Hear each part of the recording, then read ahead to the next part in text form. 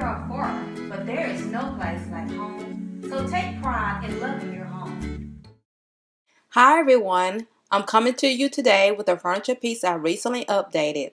It's the base of a china cabinet I had in my garage.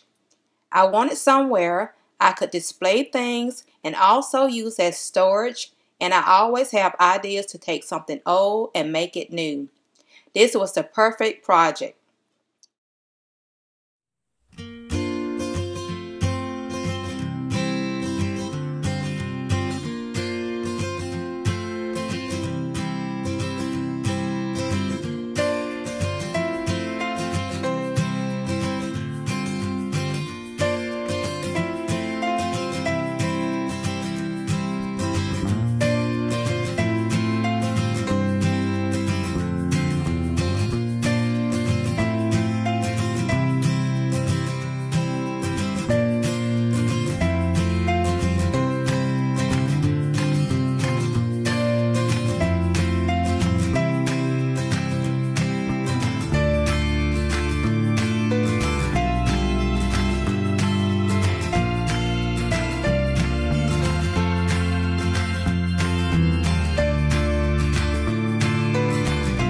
If you're thinking outside the box and wanting to use furniture in a different way, but you don't have any pieces, you can always find something at a garage sale or a thrift shop for a little money.